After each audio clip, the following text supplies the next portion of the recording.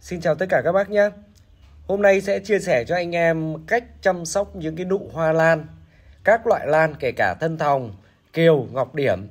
À, làm sao cho cái nụ thật to, đẹp và đặc biệt là à, khi ra hoa nó nở hoa rực rỡ, lâu tàn hơn, đẩy được hết vẻ đẹp anh em ạ. Nói chung là rất quan trọng mà à, để mình chăm sóc những cái nụ.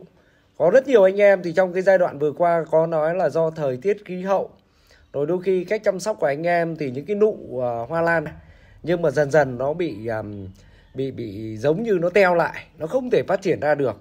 Có thể là à, mình bổ sung phân cho nó chưa kịp thời mà thời tiết khí hậu nó à, nó khắc nghiệt quá thì nó dẫn tới ảnh hưởng tới những cái nụ của hoa lan.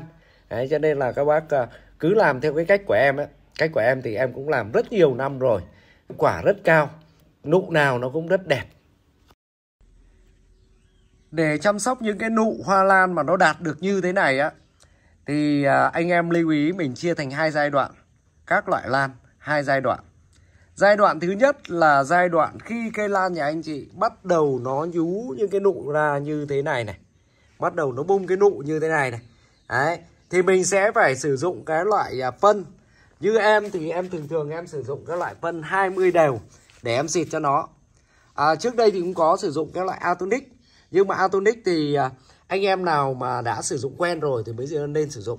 Chứ không là có một số anh em khách hàng nhà em báo lại là anh sử dụng nó quá tay cái là bắt đầu cái nụ này nó cứ dài dài dài xong bắt đầu nó vàng. Nó vàng nửa bông anh em ạ.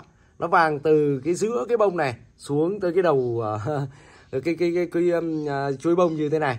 Đó thế nên thôi đừng có sử dụng Atonic khi mà các bác sử dụng Atonic này á khi mà cái nụ của anh chị mà nó ngắn quá nó không thể kịp tết được thì mình có thể đẩy đẩy à mình có thể xịt Atonic. Atonic thì cứ 5 giọt Atonic này cho một lít nước là là anh em xịt là ok nhá. Nhưng mà nó còn phụ thuộc vào cái thể trạng của cây nữa. Cho nên tốt nhất là các bác nếu có em nghĩ là anh em chơi lan thì đều có cái loại phân à, NPK với tỷ lệ 20 đều. Bởi vì à, em sử dụng cái loại à, phân NPK với tỷ lệ 20 đều ấy vì lý do như thế này này. Khi cái nụ này nó mới bật ra này nó đang cần cái dinh dưỡng để nuôi những cái nụ này. Đấy, cho nên là cái um, uh, lượng đạm nó cao ấy thì nó sẽ nuôi được những cái nụ này rất khỏe nha anh em nhé Đấy, cho mình chỉ cần uh, xịt cứ 5 ngày anh em xịt một lần cho em. À, xịt hai lần thôi. Khi cái chuối nụ mà nó dài như thế này này nó dài như thế này này tầm tầm như thế này nhá thì bắt đầu là mình tiến hành uh, xịt cái loại phân NPK với tỷ lệ 6 30 30 mình xịt là bởi vì là cái lân nó cao với lại cái kali nó cao thì cái nụ này nó đạt lắm. Đấy làm sao mà các bác chăm á là những cái nụ mà khi mà mình nhìn vào nó rắn chắc như thế này này thì sau này nó bung hoa nó đẹp lắm anh em ạ. Nó đẹp. Đấy chứ còn nếu mà nụ mà anh em mà chăm sóc mà nó cứ lướt uh, trông nó ngay nhìn cái nụ đã đã đã thấy yếu yếu rồi thì sau này ra hoa làm sao mà nó nó nó nó nó đẹp được anh em? Sao mà nó lâu tàn được? Đấy cho nên cái quá trình mà chăm sóc nụ cực kỳ quan trọng nha rất quan trọng. Kiều thì các bác thường chơi thì nó rơi vào khoảng tầm 7 ngày nó mới tàn. Đây nhà em đây. Với cái chế độ phân mà em chăm sóc như thế cái bông này này chơi đúng thật sự. Có bác nào mà anh em khách quen đây đã từng xem cái do cái cái bông này? Đúng 14 ngày rồi mà bông nó vẫn còn như thế này. Đấy cho nên là cái vấn đề mà chăm sóc sử dụng phân để xịt à, dưỡng nụ cho cây hoa lan em thấy rất quan trọng nha. Bởi vì khi nó nở hoa nó đẹp lắm mà nó không có hại cây gì cả nhưng mà tới cái giai đoạn mà à, nụ nó to như thế này thì thôi anh em không xịt nữa. Bởi vì là tất cả mình đã bổ sung cho nó dưỡng chất hết rồi. Đấy chỉ cần chăm sóc cái giai đoạn này này. Giai đoạn này rất quan trọng này. Đấy giai đoạn này sau rồi tới cái giai đoạn mà nụ to như thế này này thì cả nhà xịt cho em. Đấy.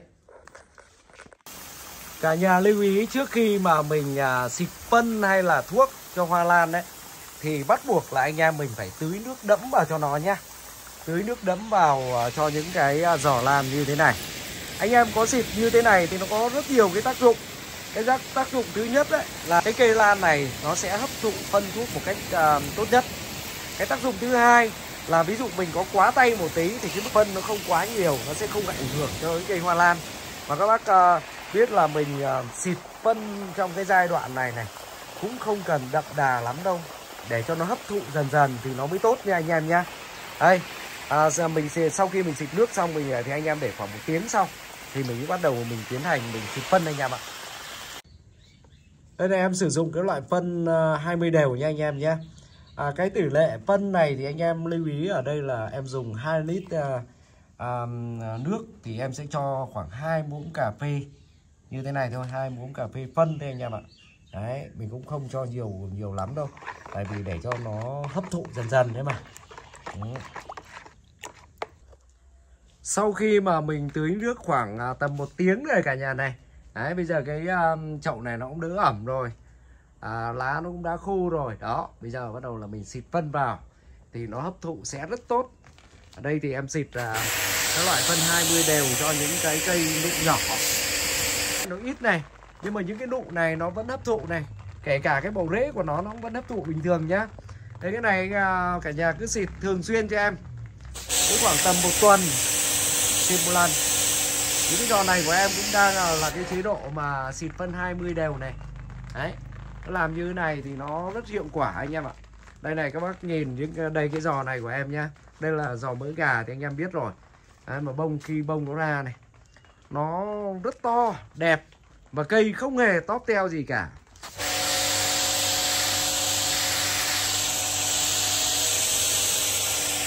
Đó cứ thịt, thịt từ từ thôi gấm cả vào giá rẻ luôn cả nhà.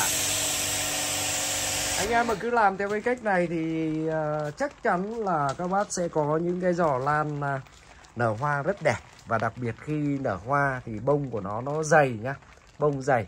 Như giả sử uh, khi mà bông to như thế này thì mình có thể mình uh, mình dừng tưới được rồi. Anh nhưng đây là do em làm hoa gối đầu ấy em tiện thể tưới luôn. Và khi mà hoa nó nở ấy cả nhà mà muốn chơi lâu tàn ấy là tuyệt đối không tưới nước. Các bác mà tưới nước vào ấy thì cái bông của anh em nó nở nó sẽ không căng đâu. Đấy. À, còn sợ cây bị đuối không hề bị đuối bởi vì trong cái quá trình nó đang ra nụ này mình đã chăm sóc một cách rất uh, tốt rồi. Bây giờ những uh, dưỡng chất nó có sẵn ở trong thân này lúc đó nó nuôi. Và khi mà nó không có nước ấy, thì cái bông hoa nó nở mới căng và lâu tàn. Đấy, chúc tất cả anh em mình có những cái giỏ lan thật đẹp để chơi nhá. Uh, nút đăng ký kênh và thả cho em quả like nhá. Cảm ơn cả nhà.